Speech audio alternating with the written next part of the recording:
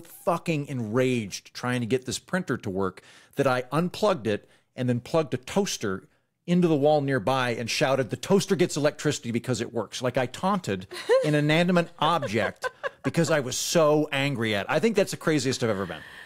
Um, yeah, it's a little insane. That's pretty crazy, man. Yeah, yeah, yeah. You're that was several pretty years ago. I've become, I think, frighteningly sane since then. Just Did the- frighteningly sane. Toaster get very smug. Yeah, it did. You but it did its job, so I put up You look very, very uh, boffiny You look disheveled. in your in your in your in your spectacles. Yeah, I thought put them on. See Your what- your your, your bespectacled boffin spectacles. Problem is because they're for looking up close. Now you guys are blurry, so I can't.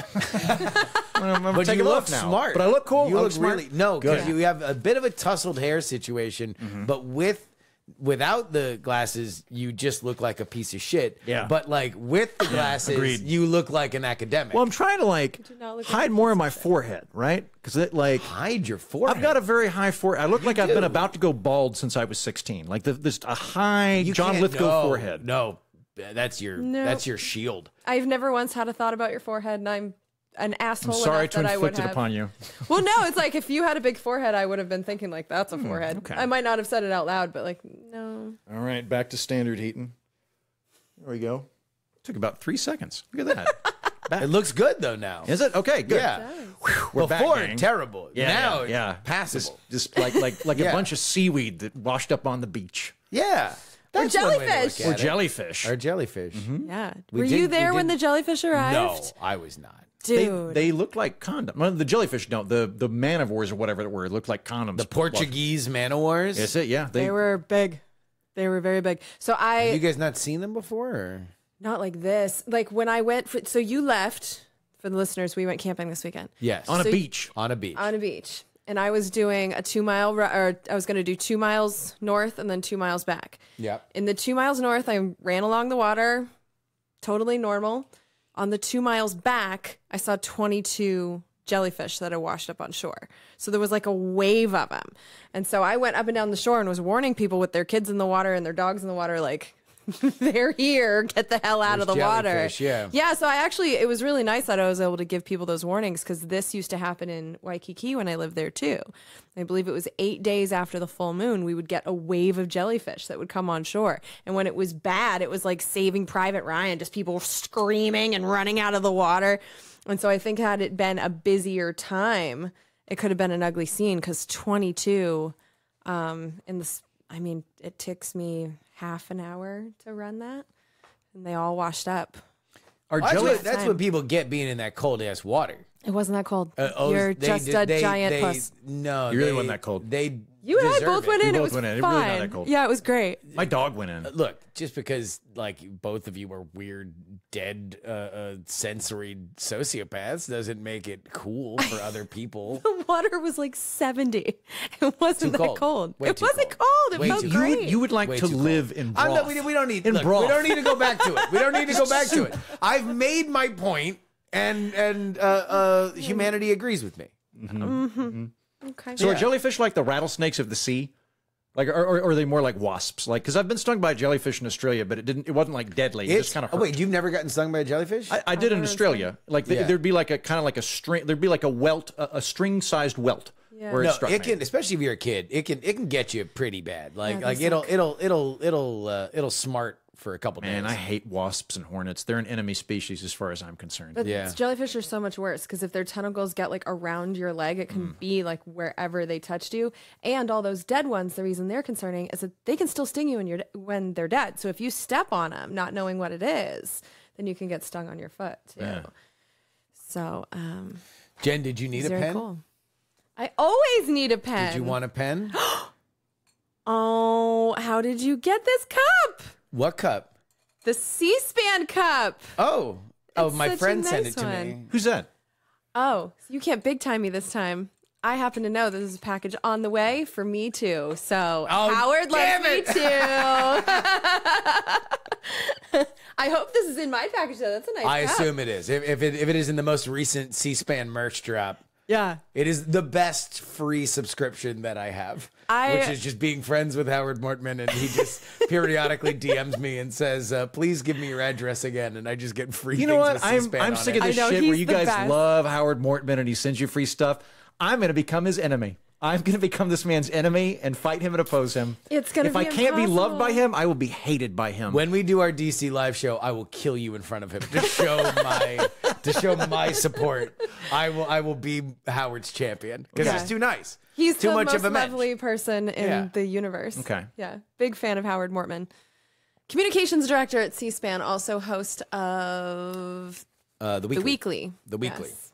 which if you Cute are not show. listening to it, it is like basically political nerd crack. Yeah, it's you just so good. you just snort C-SPAN clips with the nicest man in the world who's just chopping up these lines. I'm sure he loves this analogy. Just chopping up chopping up these like succulent lines of like like political history Yeah. uh, based on the weirdest stuff. Like like just ran he did one that was all Boris Johnson's movie metaphors. Hmm. When Boris Johnson got kicked out yeah. awesome. Did one uh, uh, because they were celebrating. The reason why uh, uh, these were in the mail are because uh, C-SPAN's 45th anniversary uh, just came and went a week ago. Uh, so since 1979, wherein the first person to uh, speak during uh, C-SPAN. Little little trivia. Anybody? Wait, dur- what do you mean during it? Like the first 79? person that they they filmed? They opened the uh, business of the House of Representatives in 1979, and uh, the first representative to speak uh, about C-SPAN. I don't know if he was the first. I'm gonna one, but guess the first James person to speak Traficant. about C-SPAN.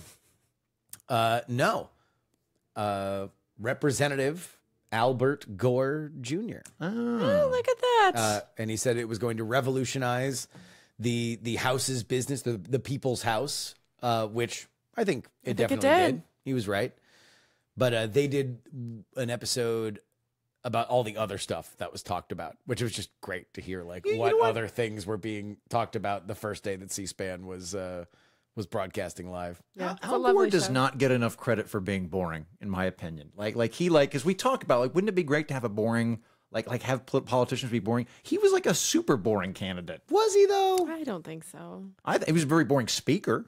He was huffy. It's one word for it. Yeah, and he kissed his wife too hard, That was weird. and Yeah. then they got divorced. Yeah. Well, but you know, like 20 years later. Yeah. But can you imagine like single Al Gore? Hello, I'm former Vice President I'm- Al I'm- Gore, and I'd like to get in your pants. I'm on the prowl for poon. God. But he's famous, so it probably works. But that was the thing is he got like for real like hip famous after Inconvenient Truth. Like he was like surrounded by like Hollywood people. He was this Yeah. oracle. Uh, It's a good documentary.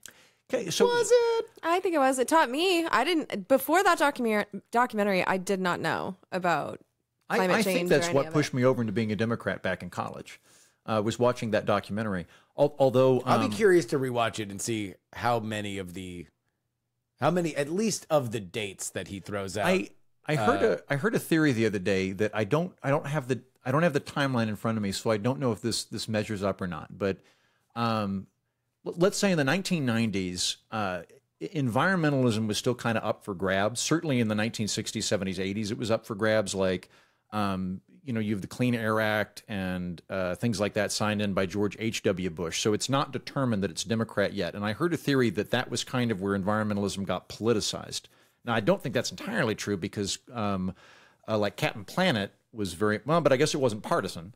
Uh, but like, but anyway, the theory was that that's basically where it became An a- amazing voice cast. a- a- go, go go to the Wikipedia of Captain Planet. Look at the voices on there, uh, glittering, star studded. the, the, the, the theory is that, that like prior to an inconvenient truth that uh, it had not become a partisan issue yet and that that that, that then became well if, if i'm a republican and al gore said it i don't like it i don't want it I think, it- there's it- some it- truth it- to that. I, it might have supercharged it, but I think it it was not a coincidence that Al Gore was the guy to do it. I think it was, you know, And actually, Reagan tore the solar panels off of the White House roof, so it's it started before that. yeah.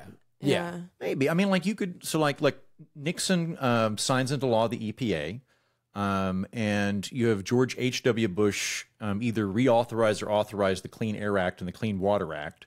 So you have legislative landmarks. You are you are you are confusing actual things that got done versus the political meta that Right. Like, like Yeah, in the same way that elections. conservatives are fiscally responsible until you actually look at how they spend. Like, Yeah, but that that is the the aura around That is the idea, right? And Democrats and- don't like and war things are until they have an opportunity to declare it. yeah, things are broadly probably you know hew to some of the like you know stereotypes for a reason elements, but uh, uh, certainly is not you know a a universal thing that that all are one or you know the other. Like you know who actually has a a, a pretty muscular conservation record is Ron DeSantis, because a lot of Republicans, especially in Palm Beach and in Republican areas are like big fishermen and have uh you know these complaints about some of the the treatment of the marshlands. And so like he's actually signed in some pretty strong protections for the Everglades and and stuff like that. But that's See, because this, this is one of those weird, yeah. terms things too, where like conservatives don't say environmentalism; they say conservationism. And there's a lot of overlap between environmentalism Mm-hmm. and conservationism. But but like if I say conservationist and I say like outdoorsman hunter, it's Republican. Yes. But if I say green environmentalist Mother Earth eco, it's Democrat.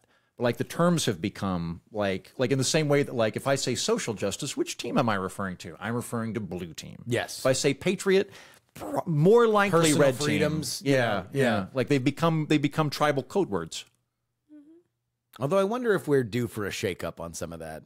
Probably we are in lots of other categories, right? Like I think we're And, and, and I don't think that it's going to get better. I just think people are going to co-opt No, for sure. Because words. because as as I like to point out fairly frequently, the the Republican and Democrat parties are not eternal religions that manifest with a through line over time. They are grocery carts of different items that change periodically. Yes. And and right now we're seeing one of the really big shifts in our, our lifetime, at least from when we were kids, where the, the Democratic Party is becoming the managerial party. And the Republican Party is increasingly trying to cozy up to the blue collar working class, which is very much different But than it was meanwhile- In rhetoric, every- but not policy. But everybody's trying to hold the last bits of the coalition that they are morphing away from. And that's where you get the never Trumpers who are largely from this uh, uh you know more managerial class. They're like, yeah, I don't like where any of this is going. They've held their nose. Progressives, who the party, the Democratic Party is leaving, are like, I don't know what the hell is going on with you guys, and so they are uh, a- a strained element of that coalition. And you know, we've seen this constantly. Like like it is coalitions are kind of like a lava lamp. Yeah. Like they're just sometimes they're more sometimes there's a big bubble that stays there for a while at the bottom, but eventually it's going to start My, my friend Batya Ungar Sargon, who's um, You what is know she- her?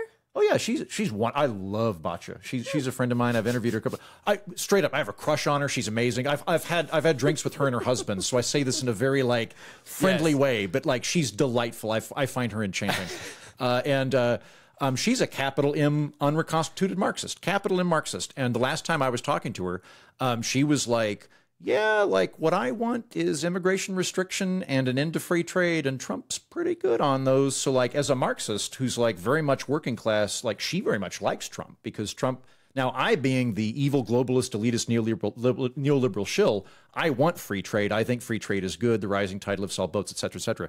Uh, but but she looks at Trump and goes, "No, this is great. Bringing he's bringing jobs back to America for the working class. He's he's making it harder for immigrants to come in, and therefore keeping wages the same. So like you're seeing this weird reconstitution going on. uh we can cut this if you are not comfortable, but uh there was a moment when we were talking on the beach about another friend of yours. That I that was very funny and I've had in my head, but there's been no way to use it in content. Uh your friend Aella. Oh yeah. Uh, uh, are you familiar with Aella? You were at Heaton's birthday party. No, she wasn't. You Oh, were she sick. was not. Oh, she. Oh, you were sick. You were at my birthday party. I was at the Jen, birthday Jen was party. ill, or Joe, Joe had been ill, and you Joe were had afraid you been were ill. oh, yeah, this okay. was during the fucking COVID. Yeah. Okay. So you weren't there, but uh, uh, uh, Aella, are you familiar with? If I say Aella, do you know uh, what she is famous for? No. How would you describe uh, uh, the the the niche that Aella has carved out? Aella is a popular data analyst slash sex worker who has become very famous on Twitter and OnlyFans. yes. So an extremely analytical mind. Um, uh, very interesting chat, and also like part-time escort OnlyFans model. Sweet. Uh, and She's not the only one of those that I would know, by the way. I have nothing against it. Yeah. W- Nobody's saying that. No, No, no. I invited her to my we- we- birthday. exactly, and she showed up. She went viral uh, a, a few uh, weeks ago because she had a uh, birthday gangbang for which she A literal birthday game. a literal birthday gangbang for which she charted with meticulous, meticulous results from everybody that applied, everybody that dropped off. She's got one of these data chart analysis. uh, who uh, came? Who didn't? who Who, ca- came in? Who? Exactly. Oh my God. Yeah. Yeah. No, she's she's amazing. However, I will say when I read that email, I did get a little bit flustered because I was like, "Hey, now, I invited you to my birthday. We had a sing along birthday when I turned forty. I invited you to my birthday. I, I'm not saying I would have gone. Maybe I would have gone. I don't know." But like, I would have liked to have the invitation to your gangbang birthday. I, I, you know, like this is just basic etiquette. Aella, I think that's fair. yeah. Yeah. From Austin, Texas, I'm Justin Robert Young. I'm Andrew Heaton. I'm Jen Briney. And we're not wrong on this edition of the program. We're going to talk uh, a potpourri of topics resulting around RFK Jr. and the grand opening and grand closing of Ronna McDaniel's time as an NBC paid contributor. All that plus your emails. Let's go ahead and get right in to this Kennedy situation.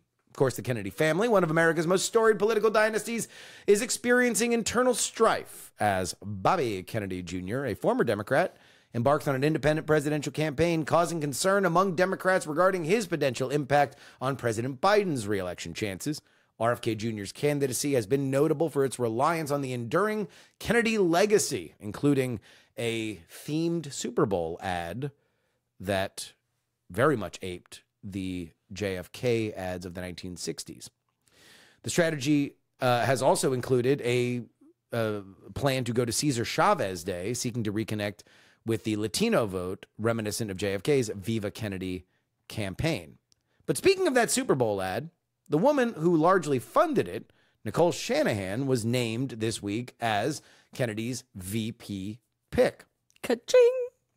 The RFK Jr. Camp, uh, uh, campaign, of course, has not been without its uh, detractors, including members of his own family. Four of his siblings publicly criticized his candidacy, distancing their father's legacy from RFK Jr.'s current political endeavors. And significant Kennedy figures have aligned themselves publicly with President Biden, including many of them at a St. Patrick's Day event only a week ago. Meanwhile, RFK Jr.'s campaign is alleging DNC interference to uh, his ballot access, specifically after collecting the required signatures for access in the pivotal swing state of Nevada. DNC operatives challenged his application on the grounds that he did not list the name of his vice president. Two days later, he announced Nicole Shanahan as his vice president. We still don't know the resolution of that, if he's just going to be able to refill that out or if he's got to recollect uh, all of those signatures. Heaton, VP, election interference, family drama. Which RFK topic are we starting with?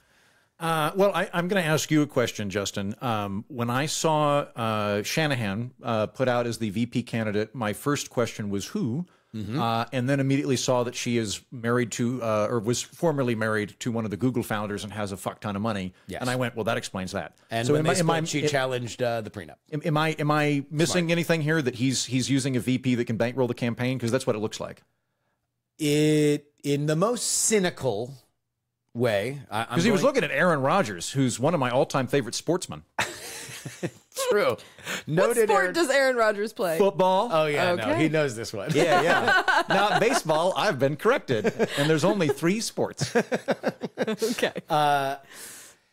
so let's assume that that uh, uh, RFK is certainly as pure a heart as any politician, and he had a conversation with Nicole Shanahan and knew, oh my God, this young woman uh, would be the youngest vice president. She is full of exciting ideas. She's bankrolled all these very Ch- child of important good documentaries. stuff. Uh, uh, and yes, Grew up poor, good stuff. She, uh, uh, as a child of Oakland, will lead uh, America forward. And totally is like, oh wait, she also has untold millions of dollars. Uh, uh, well, I guess we'll have to deal with that too. The more cynical version is that, you know, there's probably a, a small coterie of people that are making the decision in this campaign as a mega donor you're going to have a voice in that and there was probably a lot of conversation of who's the vp going to be and at some point she or somebody else said you know nicole you'd be great i think you are the person that Well, needs you, to go you know what there. it does show? It does show to me what I picked up when I met him here a couple of weeks ago that he's actually running a campaign. That, that- Oh, yeah. This is not a I want to get a book deal campaign, No. which is a, t- a tried and true way. Uh, nor is it a hilarious Dave Barry esque running for president kind of thing.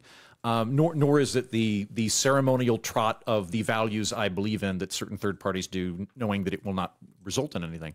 Um, so I think he's actually trying to win. Uh, a couple of things that I'll that I'll point out that I, I get immediately aggravated with are um, one attempts to immediately block him from ballot access because the party that champions democracy and has saved us from the evil clutches of Trump doesn't really want democracy when it gets competitive. Um, I I would like to think that American can do.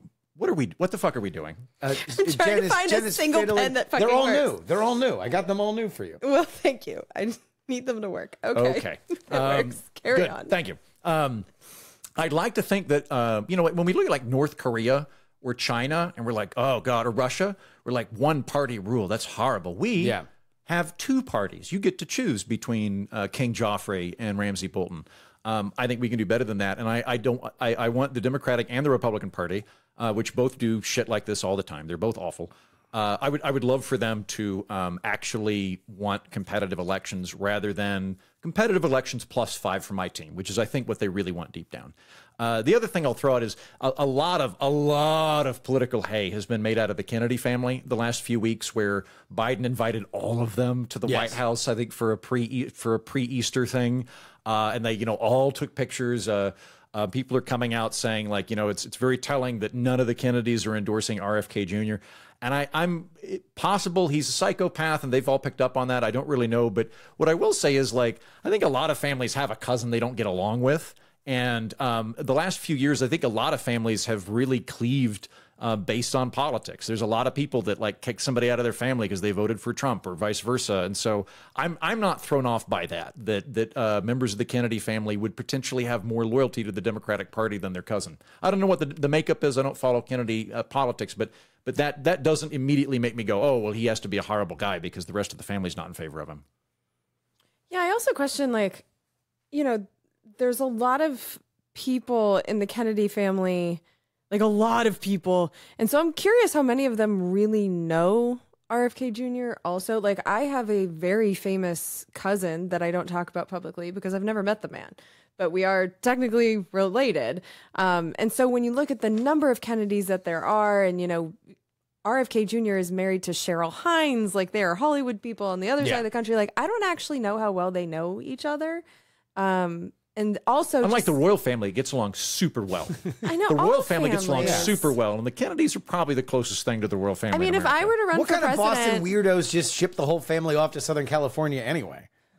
um, my my family, yeah. And like speaking of them, if I were to run for anything, there are people related to me that could come out of the woodwork and just be like, that one. Like I have so many Trump lovers in my family, just like rabid Trump lovers that would definitely not support my candidacy. So I just I don't really read that much into it. Like, oh, this family that's been basically like the Kennedys and the Democratic Party, there's three of them are ambassadors in the Biden administration. Like this is a family that is the Car- Democratic Caroline Party. Kennedy is a professional ambassador. She she had uh, I, Yes. I think she'd done charity work in New York, like she'd done something with the Philharmonic Orchestra or something like that. But she was made ambassador to Japan because she's a Kennedy, and so she's royalty. It- it- and then because she'd been ambassador to Japan, she was made ambassador to Australia because she had ambassadorial experience. And when you're a political appointee like that, what that means is you get a feudal title in the United States for the rest of your life, and you get to throw cool parties. I think the ginger is ambassador to uh, that Ireland. He's Yeah. he's he's Joe, special. Joe Kennedy three. He's like special envoy, which means that they One already had an ambassador but wanted to give him a job. Special, like I, Because he, because he, ate I've his been an own, envoy He ate his own shit trying to primary Ed Markey unsuccessfully. Oh, he's the one whose whose jaw drops like three inches lower than everybody else's, and he just I'm Joe. Ca-" Like he- Yeah. he talks like a muppet. I mean, look, uh, uh, as as a student of the ruthless, brutal campaigns that JFK and RFK ran under the tutelage of the original Joe Kennedy, the the absolute slapdick nonsense that has come out of that family since then Yeah. has like I, I say this without compunction as somebody who has studied that era. You are shaming your ancestors. They they are all they they should all appear as force ghosts and make the jerk off motion whenever any of them do anything. Yeah, so I don't really care what the Kennedys say about RFK Jr. I'm watching his his candidacy. Did you see uh, Nicole Shanahan's speech? Yeah, and so what I did, I didn't come back from camping until this morning. And so I actually listened to a podcast. It was an hour and a half long, recorded before she was announced as the VP, just an interview just to see who she is. Because my initial reaction when I heard this was I was pretty pissed about it as someone who's actually considering voting for the man because it seemed to me just like some cynical ploy to just she's got the money, that's it. Now that I've heard more about her, um, as much as I don't love that she has no governing experience, what I've long said about RFK Jr. is one of the things I like most about him is as an environmental lawyer, he is someone who is very aware of corporate capture of our regulatory agencies. He's someone who is aware of the chemicals in our air and in our water and wants to do something about it. And that is something that I worry about all the time. I think our country is horribly underregulated when it comes to things that are environmental. I think the corporations are allowed to get away with literal murder with the way that they pollute in this country. And so listening to her talk and talk so much about the environment and being healthy and I also know that she is an expert in AI. So having talked to you guys and like our the concerns that we've expressed on this podcast, she's someone that when she talks about it, she talks like like you, Justin. Like it's it's she is someone who is knowledgeable of it. Um, and she's talking about we're going to be regulating this, and if we don't do it the right way, we could stifle innovation. But if we also don't do it the right way, and we just let this thing go wild, like this, it's not accurate. We need to figure out how to train it to make it accurate. Like this is someone who understands this issue that I do think is going to be really important to have someone who is under the age of fucking 90 regulating in the next 10 years. Yeah. And so when I look at the job she would actually be doing as vice president, possible president, um, she would be the head of law enforcement. And so I would like someone who cares about environmental law and who understands corporate capture and who the other thing I like about her is that She she, spent is a lot of time talking about it in her in her debut uh, uh, speech. She, Yeah. she talked a lot about environment and and uh, uh, where we are being poisoned. She, ba- uh, her big thing was chronic illness. That we Yeah. need to understand chronic illness, and she believes that there is more of it about our environment, uh, and it is not a magical medical cure that we need to Yeah. to understand these environments. and there's a lot to that like i um i just started using this lip balm it's got spf 20 in it and i like it i like the color i like the feel i like everything about it but then i looked at the chemicals that are in it. And i was like oh shit i'm pretty sure both of these are poison. So i looked into it and like i'm gonna use the rest of them it's not that bad but it's not something i'm going to use regular regularly. And the fact that i don't trust our regulatory agencies to ban something when we know it's poison because like roundup we know that that's poison. We fucking know they are finding it so difficult to ban it in this country. And there's so many examples of, you know, the chemical industry and the fossil fuel industry and all these different industries that are allowed to keep doing things for a very long time um, because our regulatory agencies are captured. So the fact that she's even saying this as someone who would be in charge of the executive branch, I like it. I like it a lot. And then when it comes to foreign policy, one of the things I learned in this um, podcast episode is that she's not only half Chinese, but when she was in college, she went and spent time in China. And so she understands China. She worked in Chinese patent offices and she understands, you know, international trade, but especially China, and in a way where she's not like China all bad. Because I think what I have been witnessing in the past few administrations is that we're just more and more adversarial to China. And I do think that we need to have some good faith in that relationship for the sake of the world. And so I do like the fact that she would be able to communicate with the Chinese as someone who is favorable to them, as in her ancestry. Like her mother is a Chinese immigrant. So um, the good Chinese love faith. because they're racist. Okay. We're going to go back to ignoring Justin. but the more I got to know this woman, the more I was like, okay, I'm going to give her a chance. I'm going to see what happens here because the more I listened to her, the more I liked her and her priorities. And when I look at the actual job that she would be asked to do, I really want someone who cares about these things. Like, I think the things that she was talking about are the things that I'm worried about for my own health and safety. I'm worried about clean water. I'm worried about clean air and the shit in my lipstick. And um, I want more governing in that direction. I think she would go there. So I watched her whole debut speech and I uh, broke it down on the live stream. I uploaded just that all to YouTube. So if anybody wants to watch it uh, of me talking about it in real time, we can. Downsides, she's not a particularly dynamic speaker. She sounds more like a conference uh, uh, speaker than she does a political speaker. Uh, obviously, this is her first time on the big stage, so uh, grade with a curve. But I, I don't know how much you're really able to to get markedly better in in the fire like she's going to be in this I don't know. time. Stand up. How long does it take you to get comfortable on stage? Uh, it depends on how often you do it. Let's say you're doing it a couple times a week, maybe three months to get your sea legs under you, six months to get decent. But also that includes bombing, which you can hopefully Which you, do. you just fucking eat shit at. Yeah. There's no way to do it. Learning learning stand up comedy is like learning guitar in front of people that are judging you as a person. Exactly. Yeah. And also, you're not, your first forays into stand up are not really judged into your overall body of No, work. you're, because you're nobody doing a bunch shit. of Yeah. fucking awful open mics at the the Chuckle Hut at 11 p.m. on a Thursday. So, with that being said, uh, uh, you know, grading on a curve, she's not a professional politician. Maybe she gets a But, I mean, bit is better. isn't that their whole thing though? Is they're they're going to like they are the outsiders that are going to break up the duopoly and the captured government, et also cetera, et cetera. like yeah, that's a thing you say. There's also being able to whip up a crowd into a big frenzy, which you want to do even if you are an outsider, right?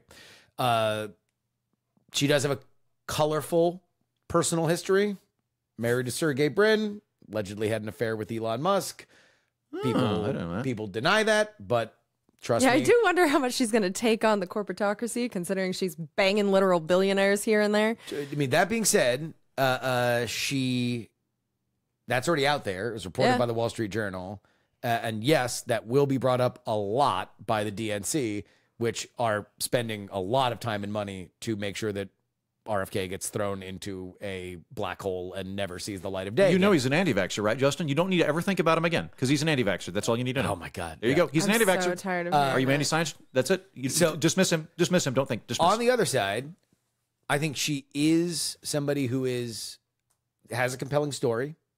I think that she has a lot of upside because of the colorful personal stuff.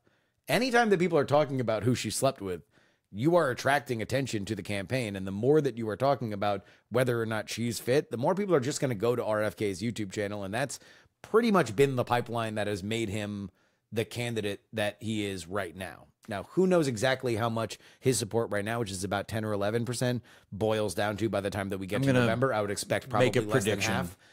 I, I'm okay. This time in 2016, Gary Johnson was polling at 10 percent. Yeah. Uh, enough so that the um, uh, the board that controls the presidential debates went for no uh, particular reason, uh, just for general quality control. We're now changing the standards to 15% plus majority and at least 25, like some bullshit, right? that, They, yeah. they literally went, "Fuck, this guy might got on stage." We do not want competitive democracy. I want to emphasize that the Republican Democratic parties don't want competitive democracy. They want a duopoly.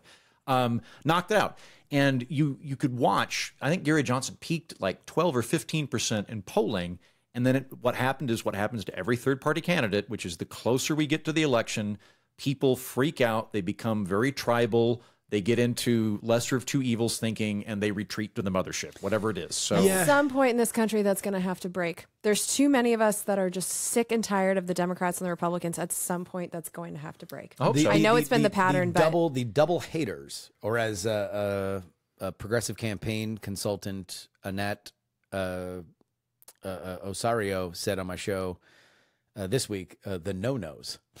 The, the, the double no's, those are going to be, they are the most coveted voting block for both major parties.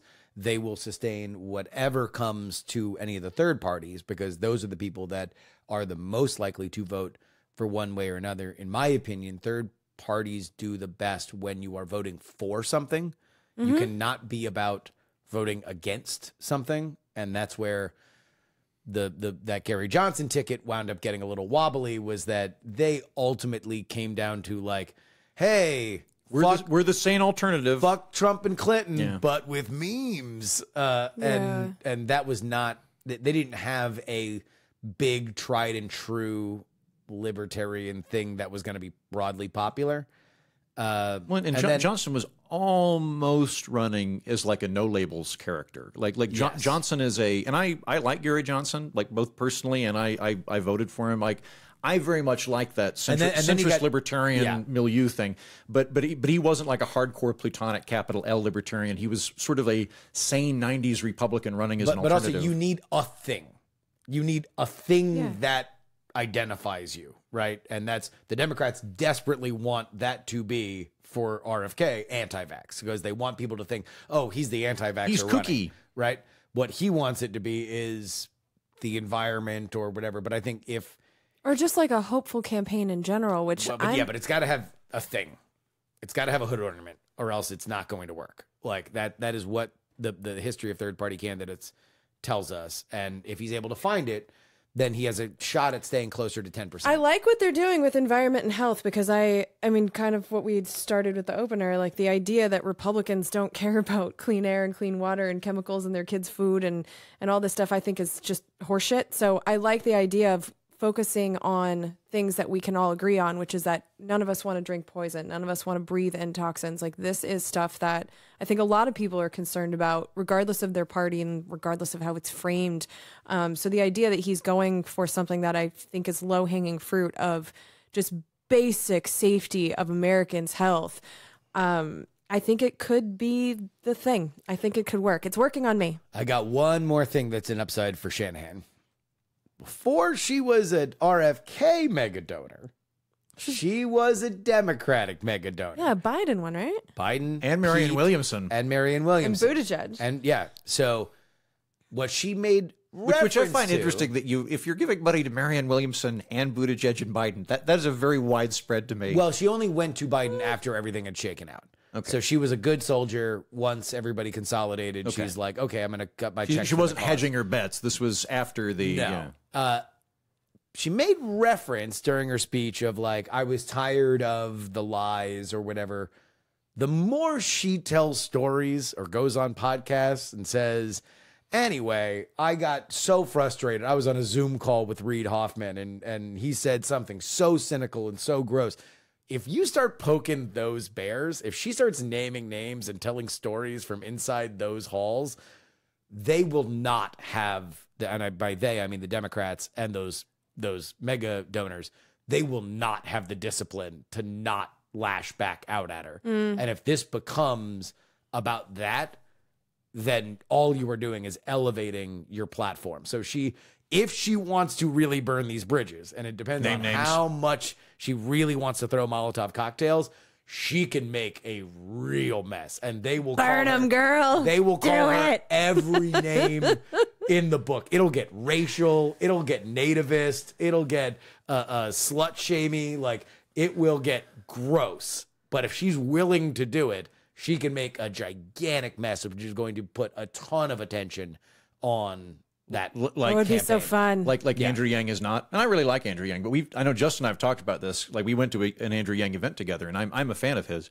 Uh, but what what happened to Yang exactly? Like you get the distinct impression that he was promised some shit, and that Yes. that was yanked out from under him. Oh no, he was when when Biden was down and out and Yang was super cool. Uh Biden was talking about like, oh, my friend Andrew Yang, so smart, fourth industrial revolution. This guy's the future, blah blah blah blah blah. And Yang was a good little soldier, and he and he endorsed Joe Biden immediately, and then he moved his family down to Georgia to make sure that Raphael Warnock was going to campaigning, win. Like yeah. he was very much plugged in. Almost, almost like he was promised something, like, Like- a secretary position or I don't, a really choice ambassador role or something, and then afterwards, And hey, then a good bunch job. of people who had been waiting in line for a really long time in the Democratic machine said, Hey, great job, buddy. Here's your ticket. Go ahead and wait. Maybe in a couple decades, uh, uh, you'll, you'll you'll get something. And that's when he left. yeah, Uh, but yeah, Anyway, just to mention the Gary Johnson campaign again, he was doing whatever he's going to do before his uh, uh, absolute coward of a low moral character vice president sold him out and endorsed Hillary Clinton, uh, therefore taking out the promise. Justin does not like do. Bill Weld. Yeah, low moral say, character. that's Low sad. moral character. There's few things that are more cowardly than spitting in all of your volunteers and donors' faces Yeah, that is awful. at the 11th hour. Anyway. Mm-hmm. Hey, friends. Patreon.com slash where not wrong. Still like Bill need- Of course you do. Yeah, of course I do. Why? I like Rockefeller Republicans. Yeah, but what about, is there any element He, should, of- he shouldn't have done that. But I Okay. like the, but the, the, the weird, like he's the one man in America that should be thrown into a volcano Low moral over the last ten years. To me, is stretching it a just bit. whenever we talk about that uh, campaign, just know I'm going to touch base on low yeah, moral I know. character I know. Bill Yeah, yeah, yeah. Yeah. He's still welcome to be a patron. Patreon.com slash where not wrong. Maybe I'll think better of you, William, if you uh, head on over to patreon.com slash where not wrong and you become a patron. You're going to get a bonus episode each and every week, just like everybody else, unless I take it away at the 11th hour. Tell you to listen to the fifth column instead. yeah, this week we're uh, we're going to be talking about Diddy. Where's Diddy? Did Do we even know? No more parties in L.A. for Diddy. Uh, at least after the feds raided both his California and Florida mansions. Head on over there. You were you were you were dialed in on this one. I mean, I saw a post, but I was just like, the list of things he's being accused of is so long. And I just, I had to share, so I shared it with you. And then, Andrew, you're so cute. You're like, is this Sean Yeah, I was like, is this is this Combs? Coombs fellow? Diddy? Coombs? Is it a is is Diddy? Diddy's like his moniker, but it's not his real name. His his, his Christian name's not Diddy. No, it's Sean Combs. Sean Combs is his Christian name. Puff You might know him as we- Puff Daddy, as yeah. we originally knew him back in the day. So Puff Daddy's the same guy as Diddy. yes, P Diddy's Puff Daddy P Diddy is Puff Daddy. because because Puff Daddy takes too long to say, so we started saying P Diddy. It was a rebrand. Yeah, we can't explain Okay. this. A man. rebrand. Yeah. There's a lot of problems with him. Yeah. Prince did that. He changed his name to a symbol. He did. He did. uh, uh, P. Diddy said, I thought I told you that we won't stop. And apparently he meant it literally. Okay. Mm-hmm. And apparently he meant drugs, and he meant sex, and he meant all kinds of illegal things. A rock mm-hmm. star into drugs and sex? I I don't like where this I'll is tell you going. what, we're gonna get into it because I, I think I think my, my my take might surprise on Diddy. NBC News is reportedly severing ties with Ronna McDaniel, the former Republican National Committee chairwoman, mere days after hiring her as a paid contributor. The decision follows a significant backlash from both current and former NBC staff and on air criticism from high profile and MSNBC hosts such as Rachel Maddow, Joy Reid, and Nicolle Wallace. Puck News revealed the network's plans to dismiss McDaniel, noting ongoing executive del- deliberations and McDaniel's search for legal representation. Despite the absence of an official announcement while we were writing this, it has now since been official. The statement regarding McDaniel's uh, departure uh, came down on Tuesday. McDaniel's hiring was controversial due to her close ties with Donald Trump and her involvement in disputing the 2020 election results, leading MSNBC President Rashida Jones to reassure staff that McDaniel would McDaniel would not be forced to appear on their programming. That was before, you know, she got fired. McDaniel's brief stint at NBC was marked by a single appearance on Meet the Press this Sunday, which sparked widespread criticism within the network. Notably, Chuck Todd publicly comment uh, condemned the decision on the same show right after the interview concluded, highlighting the discomfort among NBC ju- journalists due to previous experiences with the RNC. The controversy then extended to Morning Joe's co hosts and M- MSNBC personalities who questioned the decision and its implication for the network's credibility. Uh, we have some some quotes here that we can go into, but we will start with Jen. Is this the right call, or is intellectual purity so important to M- NBC that they can't even find room for a Romney? I think this is just another example of how awful the corporate media has become. Um, because as we're talking about, I mean, I'm no fan of Ronna Romney McDaniel. She was the chairwoman of the RNC during a time when the RNC has just gotten crazier and crazier.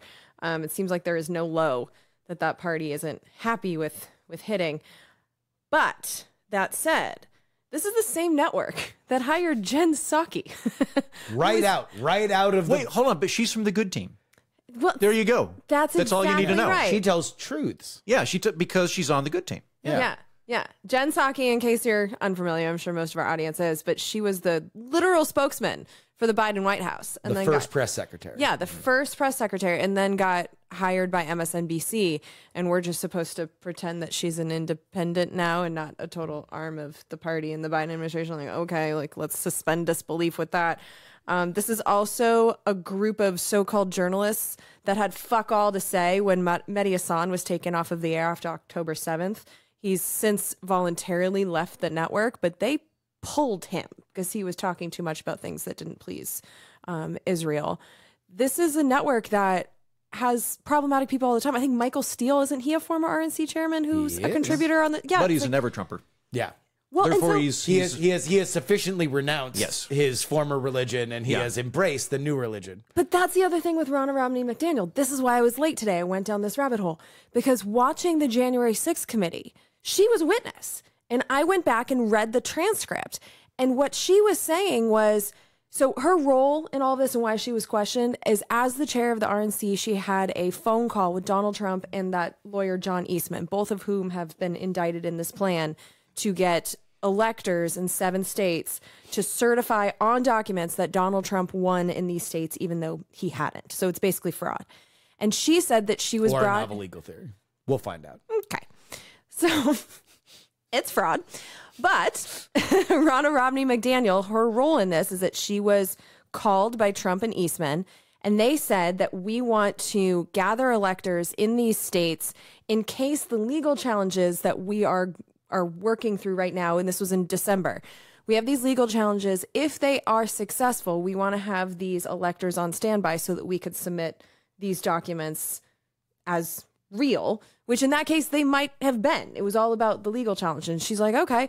And the electors, it was apparently like the campaigns that gather the electors. And in these conversations, they were also talking about gathering electors for the states that Trump had won. And so her role, she just, you know, said like, yeah, we were supporting the the campaign, like getting the electors that they needed. But I was told under, and she said it over and over again, that these were only for if the legal cases went our way. Yeah. She was not brought in on this plan, and then she cooperated willingly with the January 6th committee. I remember Trump being quite pissed at her for this. So the idea that she is some rabid MAGA just doesn't even make sense to me, having checked out the facts of what she actually did with January 6th, which was not participate in the plot to submit those seven documents, at least not willingly. She didn't know what they were actually trying to do. The, the the crew that did that could not even really be credibly called the Trump campaign. It was it Yeah, it was, was a a collection of apple dumpling gang like hangers on that became elevated because they Yes. were the only ones that would keep saying, "Yeah, no, I think you have a path here." Yeah, the people that were willing to do it. So even though she was contacted by Eastman and Trump, she was not in on the plan with them. She did not help them do it. She's not one of the people that is indicted in any of the states because if she was a part of this, then she would have been indicted by Fani Willis in Georgia. I mean, that's a RICO case and she's not a part of it. So she is not one of the people who tried to deny the election, and yet all these people are accusing it, her of doing so. Would you like to read some of these quotes now, Justin? Sure. Nicolle Wallace said, What we've said to election deniers is not just that they cannot do that on our airwaves, but they cannot do that as one of us, a badge carrying employee of NBC News, as paid contributors on our sacred airwaves. Joy Reid says, It's saying that we have to entertain the idea that the election was stolen on an equal level that we entertain the idea that we should be a multiracial democracy. That is not fairness and balance. That is capitulating to an autocrat in advance by saying, yes, we will take your apparatchik and allow them to be elevated and platformed with us. Red Jen Psaki, again, fresh out of the Biden White House, didn't even get a day between stepping from the administration into the NBC ecosystem. This isn't about red versus blue. It's about truth versus lies. Service to the country versus service to one man committed to toppling our democratic system. That is the type of experience that Ronna McDaniel brings to the table. Yeah. And as I look at what she actually did, that just doesn't jive. Like she's not doing and on the meet the press interview that Chuck Todd immediately after Trash. trashed. Who, by the way, also came out of Democratic politics. Yeah. It, He worked. He worked for Tom Harkin's '92 campaign. He came out of Democratic politics. It's not rare for No. uh, major media figures to come out of politics to talk about things because what you really want these people are not journalists they are analysts and what the best thing you can hope from an analyst is experience. Oh i remember this was like this back then. This reminds me of this this this. You're telling a story. It's the reason why ex-athletes are on espn so they can say i remember when we were down 3-1 this is what we said to the locker room. Exactly. And so that guy had a big Yeah. fit about Ronna Romney McDaniel being on this Meet the Press interview. And in the interview, they straight up ask her, Did Joe, Joe Biden win the election? She said, Yes, absolutely. He won the election.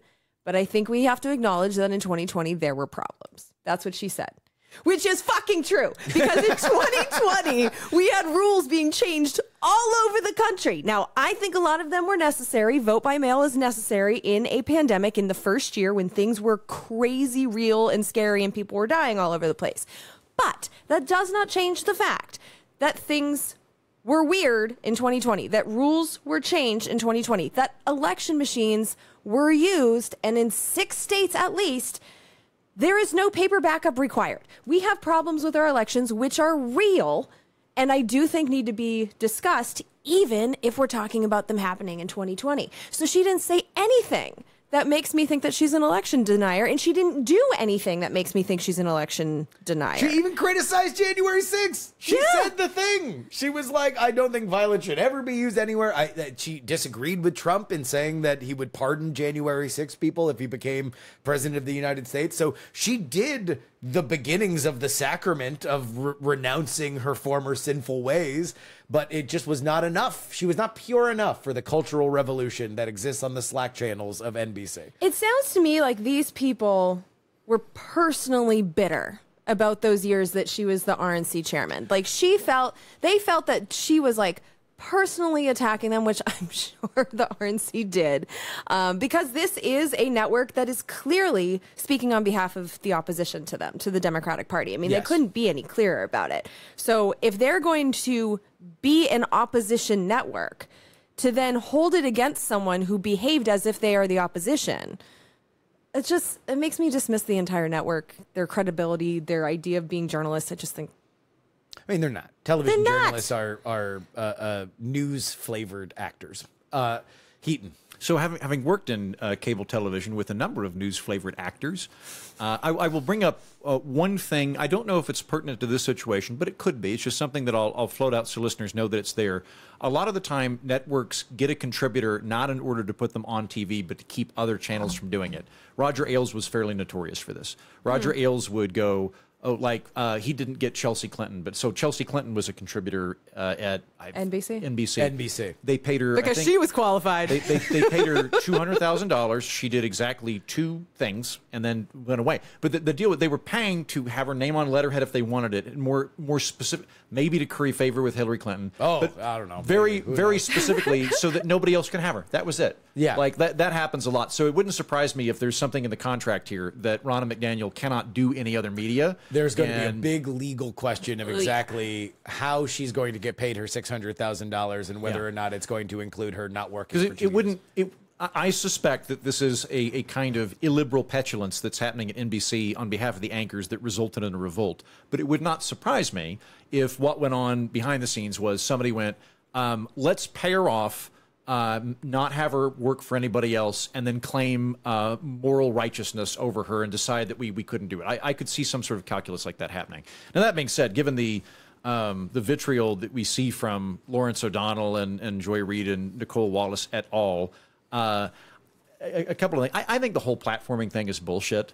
Like, like, it, like your job as a journalist is to talk to people. Like, like, um, this is something that um, uh, people get flack for all the time. It's about to get ramped up in this election, where um, you know Trump's going to go on Rogan or something, and there'll be a whole outcry when that happens of how dare you give this guy a platform. Well, I would like to hear what like like when when Carlson uh, Tucker Carlson Carlson uh, interviewed uh, Putin, I would like to know. Like, I th- this is information that I would like available to me, and I'm not such a stupid dipshit that I'm incapable of filtering this information. Yeah. And I think if, if we want to have a democracy where everybody makes decisions and we all vote, we kind of have to trust people to not be completely fucking stupid and be able to encounter ideas without being infected with Star Trek style brain amoebas that take over their mind. I mean, it's Ronna McDaniel.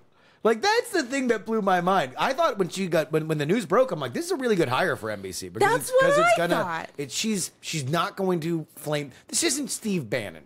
This isn't No. Seb Gorka. This isn't Vivek Ramaswamy, right? It's not somebody who's just going to blowtorch and call Truck Todd a pedophile on on air, right? Mm-hmm. Like this is somebody who's going to play by the rules. She's from a political family. She knows how far she should go, how far she shouldn't go. She's going. I've heard interviews with her on conservative media where she was very critical of the candidates that were selected in 2022. She was very upfront about saying, "Hey, look, my job was to run the paperwork. My job is to support the candidates. I don't do get out the vote. I don't do uh, uh, X, Y, or Z. Well, I think she does do get out the vote, but uh, she doesn't run the candidates' campaigns."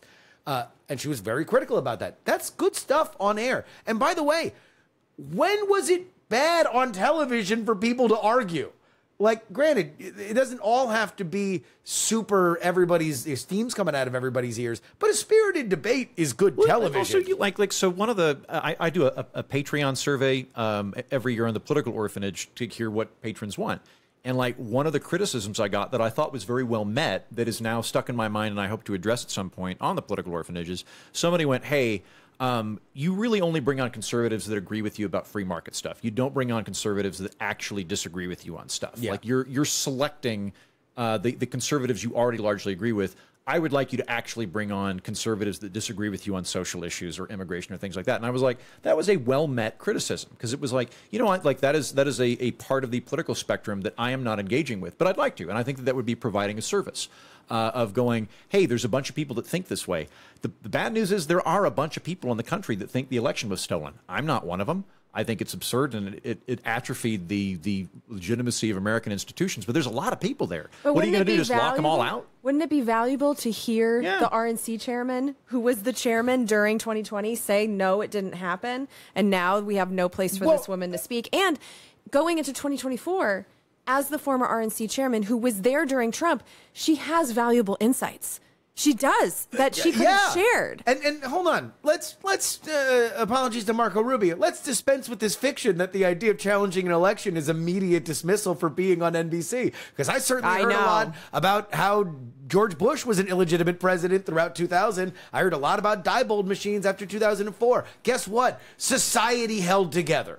It wasn't the end of the world. And I'm not here to say that those were all the same things. They were all different things. Now, they might all have a common thread, as Jen pointed out, of an eroding faith in uh, elections because we continue to hide them behind more and more opaque uh, uh, various different uh, things. And, and COVID very much exacerbated that because we had a lot of changes that were made without the state houses. But that being said, this is not a reason why you banned Terry McAuliffe from NBC. Terry McAuliffe was a paid uh, a, a paid opinion maker on NBC after he came out of the Clinton White House, where he was talking about how George Bush was illegitimate and 2000 was illegitimately handled. This was mainstream thought. Again, but that was the- Russiagate, two Yes. fucking years. But that was the that was the good team though. You have to you have to remember there's a permanent good team and bad team, and they understand they're the bad team. They know they're the bad team. I, I just hope this sticks to NBC. I, I, I honestly think that it was number one, absolutely cowardly by their leadership to not look at each and every one of these people, Lawrence O'Donnell, Jen Psaki, Joy Reid, Nicolle Wallace, and say, hey, understood. We can keep this in house. You get one day to sound off and say whatever you want on your show, and then we're done with it. And if you have a problem with that, you can Olbermann your ass right out the door. Yeah. You can you can go, you can start your Substack tomorrow if you want to be there. We'll have Ben Collins's misinformation report on at eight o'clock next week if you want to be. There's plenty of people in line that would love Taylor Lorenz tonight will be will be on MSNBC. And guess what? The audience will eat them up just the way they're eating you up because you're not saying anything different. You say the same shit every night and have the same people on that nod solemnly at what you have to say. And and I am more offended on it in the fact that it's boring and intellectually stupid. It is gruel than I am in any way uh, uh, upset that uh, of what they say. They're a, a television network. Now, granted, I don't think that you could see where they've gone in the ratings and say things are going great. I think maybe throwing a little bit of a chainsaw in the hot tub would be exciting if everybody got mad and then all of a sudden they all had to do an interview with Ronna McDaniel over the next week. That might, dare I say, be interesting television. But they Yeah. don't seem interested in Well, that. let's put our asshole partisan hats on for a second, too. So we're sitting in NBC. We obviously want Biden to win. To have a woman who, had you bothered to do your job and read the 59 page, very easy to read um, testimony that she gave to the January 6th committee, had you bothered to do that before speaking out against the woman, you might realize that she's down to play ball. she's probably not a Trump fan, and she could have really helped to be that token conservative who's like, listen, I was the chair of the RNC, but this is unacceptable because this is bad for our democracy. She could have been that person for you. She's already she wanted to be it. Watch that. Watch that. Meet the press Yeah. interview. She was willing. She was ready. So it's just like it's stupid politically. Trump, Trump, it's Trump stupid. pointed it out too. He it was on Trump. Oh, he was on True Social, and he's like, uh, uh, "Boy, really sucks." She went on NBC. She said the thing that she was supposed to say, and she still got fired. Yeah. Uh, now she's in Never Never Land, It which is not a good place to be. it proves quote. everything that anyone has ever said about NBC and MSNBC as them being partisan and awful. It proves it all true. I want to do a side side panel for a second, just on like the, idea that we cannot countenance people that share a contrary worldview is is a deeply illiberal way of looking at the world. Like I, I saw some quote the other day, and this was coming from conservatives. I don't remember who it was. It was probably somebody at the Daily Wire that was talking about how like if you think transgender is a real thing. Um, like you, you fundamentally disagree on reality, and how can we even have a conversation with you? And my, my first thought was, you know, like Muslims think that Muhammad rode a horse to the moon, and Christians think that uh, God was born from a virgin and that uh, he died and came back. Like I'm fully God's capable, son. God's son, God. Um, I'm fully capable of having conversations with people that have a very different worldview than me. I'm fully fucking capable of it. By the way, most people are. Most people listening to the show are completely capable of being an atheist talking to a Christian or vice versa on very many fundamental cosmos issues. And so when we start getting into this, like, well, like you're you're believing in a warped reality about the election, so I cannot have a conversation with you. Like that that to me is something that's antithetical to pluralism and the idea of being able to actually have constructive dialogue with people whom you do disagree fundamentally. But the idea that Ronna Romney McDaniel is that is also incorrect. like she's It's not really that. funny. They couldn't stomach a Romney. Yeah. by, by the way, you keep saying that. How is she, how is she related to Romney? Is this his wife? His niece. This is his niece. Okay. Yeah. Yeah. When she got the RNC job, Trump said, "Drop the Romney." Yeah. Yeah. And yeah, so yeah. She, she just became Ronna McDaniel. Ah, uh, but yeah, she was professionally Ronna Romney McDaniel But I think that's years. the most that she's bent to Trump, as far as I know. Like she was not a She's- MAGA. It's, it's a. I mean, number The, one, the, that, that, the that, RNC that position hated Trump back Yes. before he got But she, she was she was the person that got put in. She was Trump's pick to to run the RNC. The thing, the reality of running a, a, a national party is that you're basically a janitor and a referee. Like there's there's not a lot Yeah. of what you are doing that is really substantive. The thing that wound up getting her kicked out was reporting that there was a lot of sloppy financial stuff. So it's like if you really wanted to attack her, you could be like, "Hey, by the way, why did you spend more on fruit than get out to get, get out the vote uh, uh, text banks?" Like that was some of the stuff that came out about her uh, tenure there. Other than that, Jen, I'm totally on your side. She would have been an invaluable person to find out how the RNC is running. If you wanted to talk about how wild, like whoever gets her, and who knows now what position she's going to take, or she'll just do a podcast or something like that. But the stories that she could tell Yeah. of, I got called at two o'clock in the morning, and this is what was said, would be really interesting. And she is a compelling person. She's re- she's uh, really good on camera. the story that she could have told about January 6th. If they're going to run on what happened in the run up to January 6th, she was an insider. She was an insider. She's already told the story. The part of the story that she's told, I don't feel like is well known based on the fact that these fucking wannabe journalists don't seem to know what her testimony was. She has a lot of insight into what happened in those critical two months that NBC just threw out Here's the, the, door. other the other reality about it. It was because she was getting paid a lot. How much? How much they, they Three hundred thousand a year, uh-huh. and they That's had just that gone through a round of firings, and so there was a lot of the off the record quotes. This was like the the the, sa- uh, the salaries vary wildly. Well, I think within cable Rachel's getting three mil or something to do one day a week. but she's she is a linchpin yeah. for them. But you'll you'll also have the person that's got like a daily show that's making like maybe two hundred thousand a year. Like it like um like again they're all. It's not like there's in cable television like ah this job we pay X amount. Like you're a sergeant now. Like it's they they all negotiate. It's all very very different. Like contributors will like.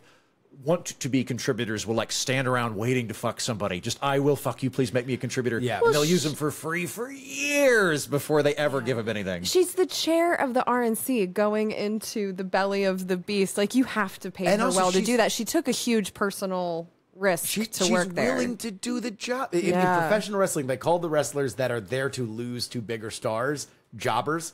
She was there to be a jobber because Mm-hmm. she was going to go on all of these shows. And guess what the social clips that would have been out on, on Facebook and YouTube would have said? It wouldn't have been Ronna McDaniel makes a great point. It would be Rachel Maddow Destroys, all caps, destroys. Ronna McDaniel Yeah. on, on The Big Lie. Yeah. That's she was willing to do it. She was willing to get to get drug across the street so you could benefit, and and they couldn't handle that. But that's the reason why. The reason why she got paid a lot, and they just gone through a bunch of layoffs.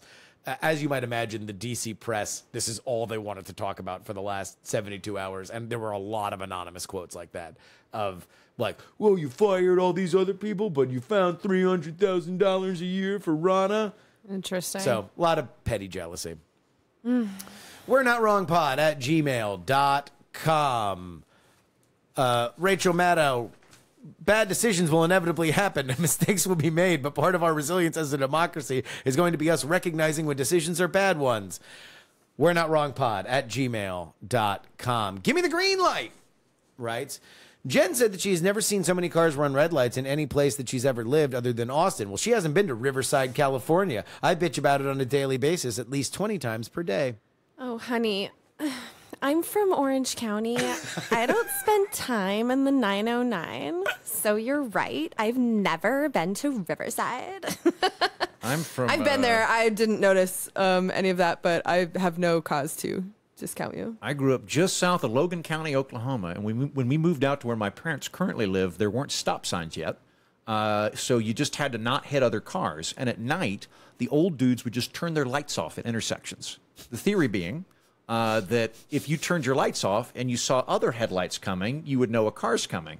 Uh, so you didn't need to slow down; you just turn your lights off, and that works real well until some other old guy is Yeah. doing the exact same thing. Yeah. So we got we got stop signs though. Oklahoma's doing great. Oh, boy. Saving Private Gerbs writes, I'm having a blast picturing greatest generation Justin Robert Young storming the where the water hits the lands of Normandy. The smartest man in Portland writes, "I'm a lifelong resident of Portland, Oregon. When I when we go to the Pacific Ocean, we are going to the coast, not the beach. The water is cold and so is the climate. It could be 100 degrees in Portland, but it would still be 75 degrees uh, 60 minutes away on the seaside. My first time in Southern California, I imagine my disappointment when I found out that the Pacific Ocean is still frigid, even when the air temperature is hotter than Satan's balls. Contrast that with my first time visiting the Atlantic Ocean in South Carolina. The air was in the 90s and the water was in the 70s. It was perfect. Yeah. SoCal water is not warm. Cold give you water is an abomination to God. uh, speaking of EVs, got a lot of EV. emails. Yay! Voice of the Voiceless writes, Fellow non drivers, I call upon you to help me by flooding jury's inbox. This bully will hear us. Get him! Very interesting that literally just advocating for what is by far the most popular transportation mode in America is me being a bully. And not me ju- just stating the obvious. We don't have other alternatives. Oh, it's really popular because it's the only thing. Like, okay, like be proud of that. And who's the bully? Is the uh, is the White House hating Tesla's uh, Tesla good? Right. The only reason why we're talking about electric cars right now is because of Tesla. They have the largest market share, and recently, just about every major car company agreed to adopt their charging plug standard. And the Biden administration hates them. Wouldn't it be more beneficial for the administration to give Tesla a couple billion to build more superchargers around the country? Their supercharger infrastructure is by far the most advanced and reliable, and as I mentioned, all the other companies are now switching to using it. I'm not sure that that's true. Um, because The standard or their tech? So the tech, because I do know that they're trying to standardize the car Charging plugs. chargers. I was told this by the Secretary of Energy. Um, but I don't know that they picked the Tesla ones because so few of us are able to use them. Right now, you can only use them if you have a Tesla or there is this thing you can buy that switches it. But even if I bought that plug on, like I still can't use it in my car. So there is a, like the J. I think it's J1772, something like that, is the charger that Oh my I god, can we use. got so many technical emails that would just Yeah. be absolute brain poison if I read them verbatim. But Well, trust me, we had a lot of people that were writing in about charging standards. And you know what? I'm really not surprised by that because it, after I got home, I realized that it was a big omission that we didn't talk about it because it is very frustrating that even when I find chargers, most of the time I can't use them. It has to be a very specific kind. So I can't use any of the Tesla ones. When you see I, those, I thought I that they'd consolidate. I thought that No. Tesla had made some deal with the other ones where they were going to have the same universal. They universal are. port. The only No. problem is cars So are older not ones. A, It's like a standard that update all the type time. USB B or whatever. There's not okay. standard chargers. There's not standard on the car side. Like so, it's a it's a wild system out there. So like, there's some fast chargers that are very close to my apartment. I can't use them. Now my car is a 19 or not 19. It's a- 1998. I'd be. Yeah, it's a 2018, so I know that my situation, I'm, I'm driving an older car, but that is a problem. That every car has a different charger. So when you say when you see charging infrastructure, you might think that there's more than there really is, because I, as far as I know, Tesla might be the only car that can use almost I- all I- of them. I am pretty sure. I did not double check this because I assumed it was right based on other stories that I'd read. Because there is a program right now, I think for Toyota, that you can get one of those adapters for free for the next year because going forward they are going to standardize them. And I do think that Tesla did win the war Okay. of standards. Uh, but do we have Which anything to say about, about, about the Biden administration being uh, adversarial? Uh, well, I, let let me say this: like, I don't want them to be adversarial with Tesla. I was unaware of that, but I'm I'm, I'm- not nearly yeah, so plugged in know as that everybody that's else facts is. either. Uh, it, it is. You, It is. Tesla's not a union shop, and uh, the union uh, Joe is a hardcore, especially auto well, union so guy. so then then two thoughts. Um, one, I, I don't want the government being pro corporate or pro union. I want the government being a referee. I want them being neutral and enforcing laws. I don't want the government picking winners and losers, which is why, uh, in addition to the fact that I wouldn't want it to be adversarial, I also wouldn't want to do what the listener pragmatically suggests, which is just give a couple billion dollars to Tesla. Uh, I think the government is not structurally suited to picking winners and losers very well. The market's going to be better for that. What the government could do in this instance that would help is just get its shit together. We talked about some of the problems that are, are being uh, uh, propagated through the uh, infrastructure spending in the last episode of no, the Inflation Reduction Act, the Inflation Reduction Act. Thank you. Yes. Of uh, Which is um, the environmental trying bill, but to is not the infrastructure trying to bill. proliferate solar panels by simultaneously having made in uh, made in America requirements and things like that. Like, get rid of the speed bumps before we even get into picking winners and losers. Is my position. Well, I think part of getting its shit together is the government has to pick a charger. Like they had to pick one. So this is a symptom. Like if this is actually what's happening, this is a symptom of the government getting its shit together because it has been Wild West. Every company has picked their own charger. There's different networks. Like that had to be standardized. I standardized. could be wrong, but I don't think that the the sockets we use now were ever government mandated. I think the that just kind of consolidated around one. I'm telling you, as an EV driver, this is a problem that had to be solved.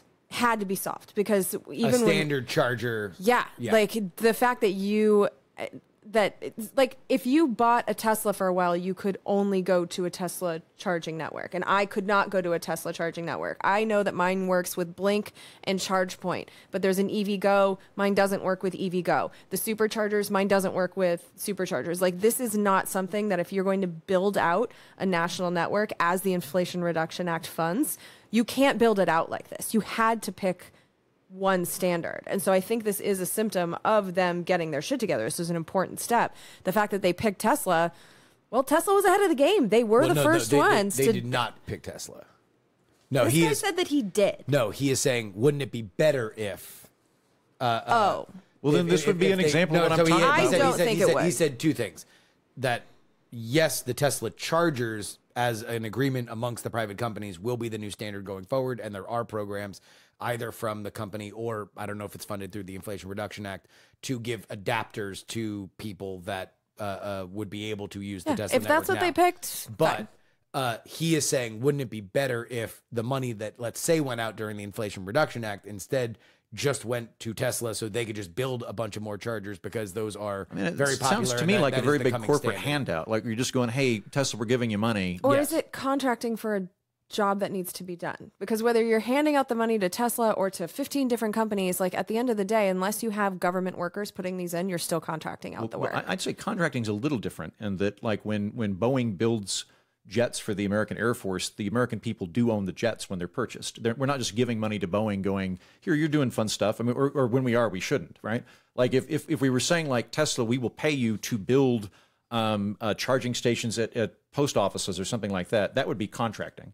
Um, but like where, where we're just giving them money and saying like we would rather you have the money than us. Like when we build stadiums, for example, that that to me is different. Like if you if you're having a company build a stadium, but the the municipality owns the stadium, that's contracting. If you're just giving a handout where you go, we would like that that but company what, to keep the what money. What makes you think that it would be just like a handout that they would? it depends on how they do it. I mean, This, this, this, this is a hypothetical. Yeah, we, it- we're, it- we're, we're Okay. debating. yeah this is this is hypothetical, very like I, I don't know how this would actually shake out but my my concern is i am very reticent to give corporations handouts. I am very reticent for the government to just give money to corporations. I, I would rather there be a strong firewall.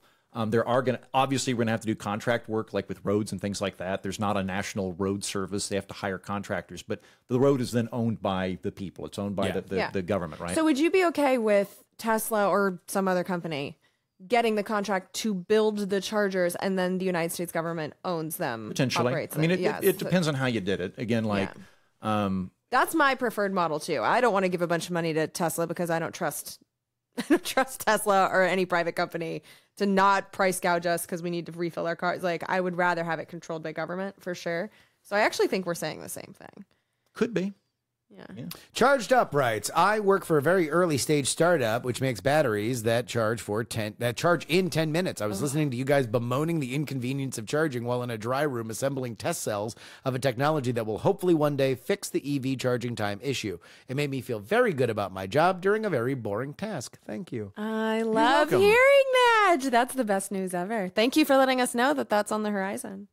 No True EV writes, Jen said to fill up 50 miles, it's two hours. But that's only because you have a PHEV, which probably doesn't support DC fast charging. It does not. Most typical EVs can get 80 miles of highway range in uh, more than a 15 minute charge.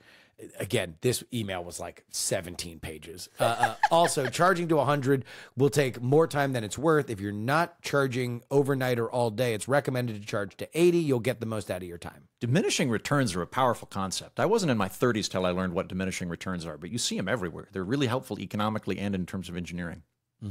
Our listeners can understand it week by week here listening to the show. scoot, scoot, scoot writes.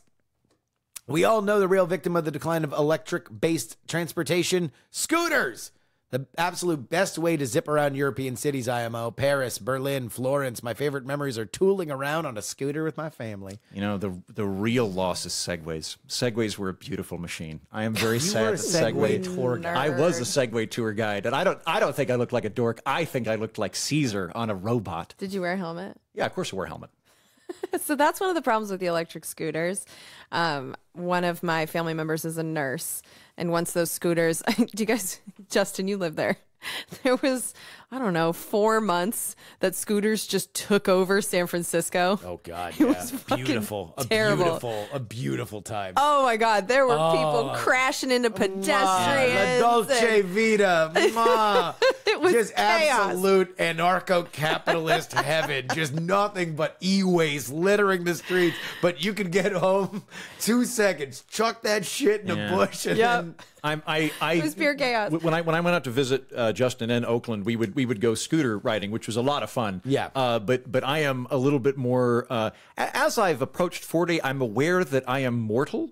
And I'm aware that my injuries heal slower, and I've also heard some real gnarly stories from nurses and doctors of like like some guy in his 50s will like puncture a lung because he falls over the handlebars Well, and that's a curb. why I and- was bringing it up. Is that um my she's my stepsister sort of I don't know, but she's she's a nurse. We'll look into and, that. Um, yeah, well, my family's complicated, but she I love her dearly, and she's a nurse, and it's in the Bay Area. And when those scooters were everywhere, the number of head injuries that they were dealing with just skyrocketed, and um and so the fact that we are using the scooters but not having the helmets be a part of that. Like, I'm not a huge fan of the scooters. I don't think they're the way forward in transportation. That said, if we did have separated bike lanes for all of this electronic shit, including the scooters, you would have fewer injuries because people had to brake suddenly because a car is taking a right or something. Like, if you could separate those from the cars, You at like the scooter very lanes. Uh, uh, scooter our- our- lanes, bike lane, because scooter lanes and bike lanes,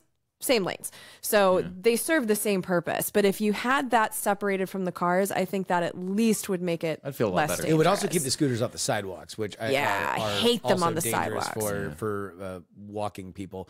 and my dog. Yeah, our friend uh, Darren uh, got hit while he was on a scooter. Really? Really fucked up his collarbone. Yeah, What was Oh this? my god, I didn't know Did I missed this the chapter? Yeah, it was late late stage. This, this is before I, I joined the, the Justin Robert Young sitcom as the wacky neighbor character. Uh, I don't know where in the season. I don't know where in the box set this was, but the uh, yeah, no, he he really he got he got screwed up bad. Hit by a car while on a scooter. Car, yeah. Um, I, I don't know how much uh, it wound up. I'll say this about Yeah, we don't have to say anymore. Strong it, it, wound, collarbones it, wound, it wound up ending up in court because the car was very much at fault, and uh, uh, yeah, so that was the thing. I'm glad he's okay. Yeah. Uh, yeah, no, ask him, ask him to, to show him, uh, show you his collarbone. It's, it's I still will. fucked up. Just make them last longer, writes. I wish that they just make better cars. And by that, I mean the car part of cars, not the add ons. Seem like most academics gloss over or ignore that the majority of pollution and power consumption of personal vehicles comes from the beginning of their life cycle and the end.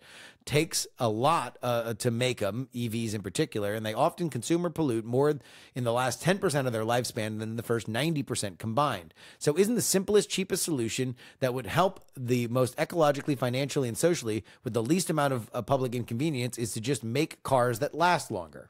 I think so. Um, were you there? So when we were camping, there was this kid that rolled up in a pickup truck, and it was just like an old. I, it was either a Toyota or something like that. But you know, like the old workhorse Toyota pickup cut pickup trucks that weren't huge but like got the job done. Um, he rolled up in one of those, and all of us were like, "That's a great truck." And my brother-in-law drives the same truck, and he gets offers for it all the time because those things will run for don't die. thirty years. They don't die. They'll have 500,000 miles on them. They're fine. And um and this kid was saying like his car was in the shop and so he got this thing and he was excited about like the old cars that were built to last. People are hungry for those instead of this, you know, forced obsolescence so that we keep buying more shit. I think this is a really good point. I'll, I'll weigh in on a couple of things here. For, for, I did not know um, this point here that um, the the majority of consumption or pollution is caused by the first ten percent of the lifespan. Um, that's very interesting, and and yeah, that's very interesting to me and an interesting fact. Um, I- I'm I'm working on actively an episode on the political orphanage right now on was life better in the 50s. Um, is this is something that I hear from boomers quite a lot, and I want to actually look at the data for on it. chicks. Um, there's a lot of people that would contend that it was not a great time. Yeah.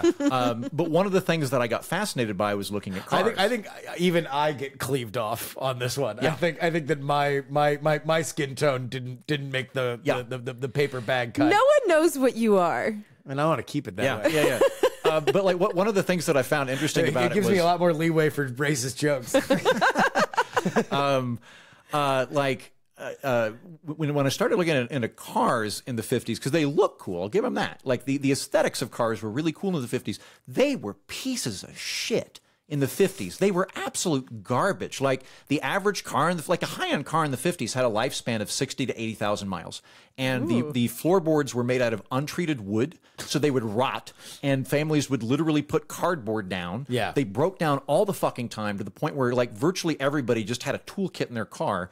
Uh, but again, like 60 to 80,000 miles was very common. T- today in the United States, the cheapest car you can buy is more efficient and more safe and longer lasting than the most expensive car you could have bought in the 1950s, 60s, or 70s. So, um, to some extent, listener, you're already living in what you're describing of, of cars lasting much, much longer. Like today, the likelihood of buying a lemon's much lower than it was 20 years ago.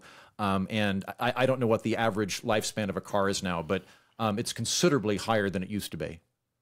Yeah, I mean, most of my cars have lasted over a decade because I buy a car and I drive it into the ground. Like I don't, I don't need a new Yeah. car every few years. My car's six years old. It's not even. I think I have.